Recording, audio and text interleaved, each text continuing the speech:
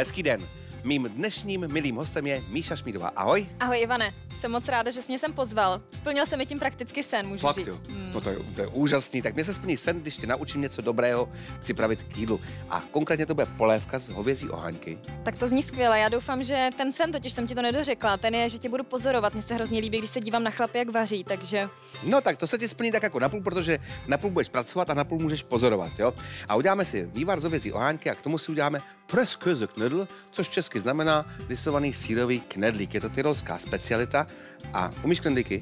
přiznám se, že knedlíky, to bude moje velká premiéra. Prosím tě, máš tady rohlík na kostičky, mléko, rozpuštěné máslo, aromatický sír nastrouhaný, vajíčko, mouku, misku, sůl, pepř a můžeš všechno smíchat v té misce, jo? Takovou důvěru mi dáváš. S mlíkem opatrně, s moukou opatrně, prostě aby to mělo takovou hustější konzistenci, z které potom budeme eh, tvarovat knedlíky. Jo. Pust se do toho a já se pustím do přípravy té oháňky.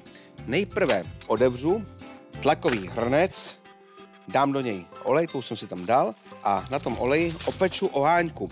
Tu oháňku nejprve obalím v mouce, mouka, sůl, pepř, Já myslím, že se to teďko skvěle hodí, protože samozřejmě začíná být zima, nebo už je zima. A taková polívka, když člověk přijde vymrzlej z lyžovačky. Hmm.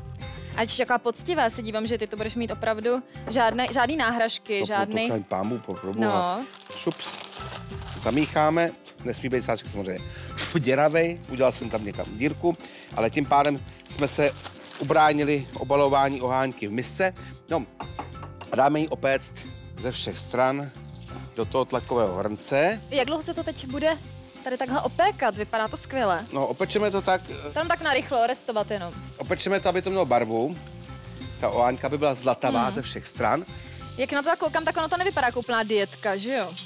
No, kdybychom tam eh, nechali po tom vyvaření to, té oháňky ten tuk v té polévce, tak samozřejmě, samozřejmě dietní nebude.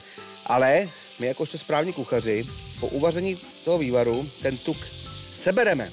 Tak Ivan, já tě poprosím, jestli mi to můžeš zkontrolovat, jak jsem dopadla. Můj první knedlík. Já myslím, hustota parádní, strouhneme muškátu trochu. Jeden, dva, tak. Výborně zamíchat. A teď voda. Dám ti vodu. Ty si namočíš ruce do vody a vytvaruješ kuličku velikosti asi tenisáku a tu pak rozplácneš, jo? A dáš na pečící papír. Tak, můžeš zkusit. A i tomu se dá říkat pořád knedlík, říkáš, No jo? jistě, samozřejmě. Už nevím, jestli to bude počítat, Ukaž. se tady No, tak říkám, že mám první knedlíky, ale... Ukaž. No, dobrý. A dáme jí Ukaž. Namočit ruce víc, jo? placička, víc namočit ruce, No, dobře. no, tak dobrý. dobře, Budíš. dobře, je to Tak. premiéra, tak to snad Samozřejmě. pustíte. No a já jenom založím tu polívku, voda, morkové kosti, kořenová zelenina, mrkev, petržel, kousek celeru, všechno tam dávám najednou, cibule, i se slupkou můžeme tu cibuli opít předtím, nemusíme, tvaruj, placičky, tvaruj, Jo, tvaruj. tvaruju, dobře, Pojď. dobře, dobře. Já jsem myslela, že tím už jako tady moje patlání s knedlíkama Ne, skončilo, ne, ne, ale jen ty si to evidentně užíváš.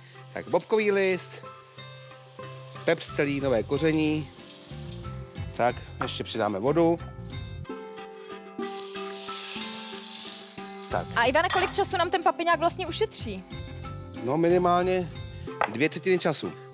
My teď vezmeme pokličku, díky speciální vychytávce, šup, krásně uzavřeme víko, jo, žádný prostě pracní uzavírání a nastavíme si tady, které zvířátko tam děláme. Tak co to je za zvířátko? Kravička. No výborně, takže tady máme kravička, prasátko, slepička, rybička, tak my si dáme kravičku a necháme tak hodinku přibližně tu oháňku dělat. No a mezi tím si v troubě upečeme ty knedlíky. Moje krásné knedlíky. No ten papiňák je skvělý, tak už vím, co budu chtít k Vánocům. Polévku jsme přecedili. Recept na tu polévku a vše o této vychytávce o tlakovém hrnci se dozvíš na www.teskomaschutí.cz No a teď už zbývá jenom tu polévku nalít na ten knedl, na ten knedlík, dát si kousek oháňky na talíř, kousek zeleninky, no a pustit se do toho. Míšo, děkuji za návštěvu. Já moc děkuji, že jsem se od tebe mohla něco naučit. No a přeju tobě i divákům dobrou chuť. Dobrou chuť.